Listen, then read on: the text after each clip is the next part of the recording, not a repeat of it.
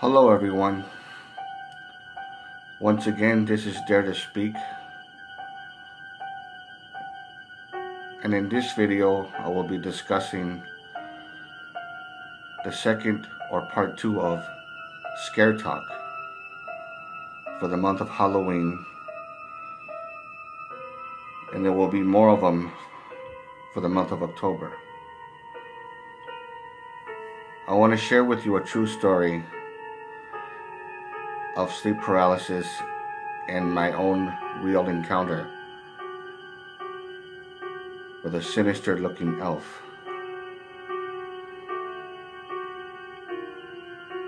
And as well as other things like boggarts and boggies. Or some people would say bogies.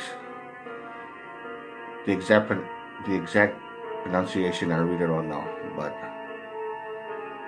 anyways, the actual story starts like this. I was asleep in my bed one night.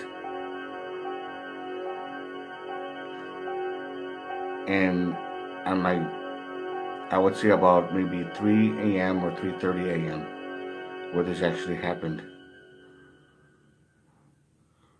There was an evil looking elf in my room.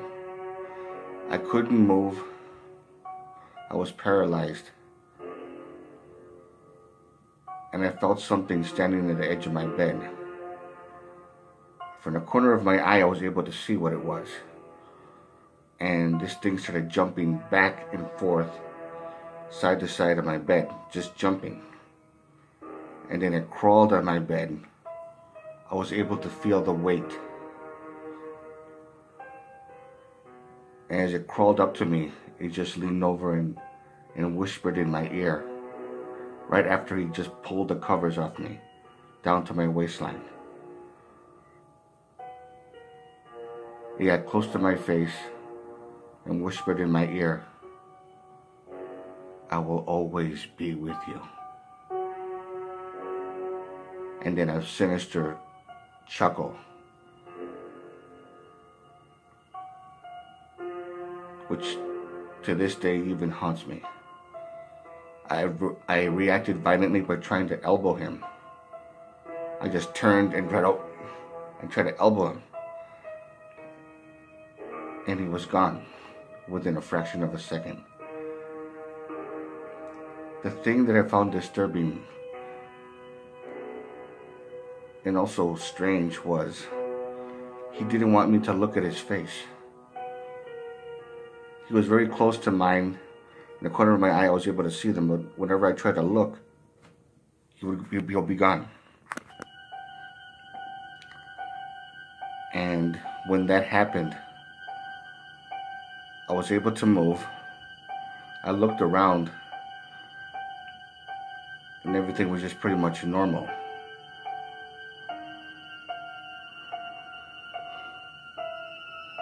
It was really a strange event.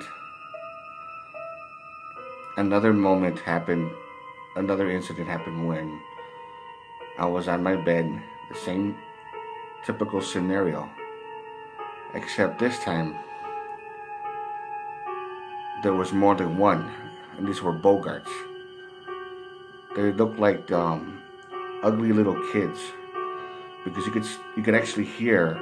I was able to hear like the sounds of little kids laughing around my bed, but it was like a demented type of laugh. Like uh, try to imagine a little kid, four or five years old, breathing in a, a, a balloon filled, filled with helium, and that funny voice that, you, that they uh, make when they talk but they were laughing with that type of voice. There was about maybe four of them around my bed. And they literally just grabbed, just grabbed me from my ankles. They don't grab you anywhere else, not my from my arm to pull me off the bed. They just grabbed me from my ankles and pulled me off.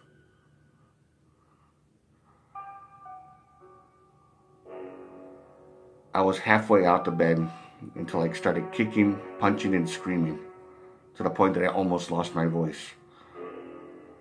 My voice doesn't even carry, and I, and I just screamed, punching and kicking.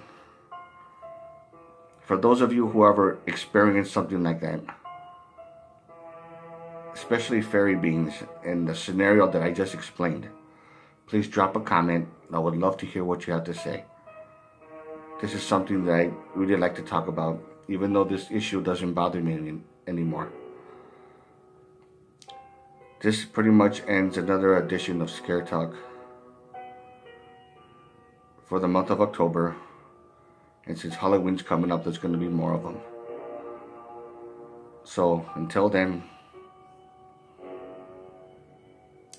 take care.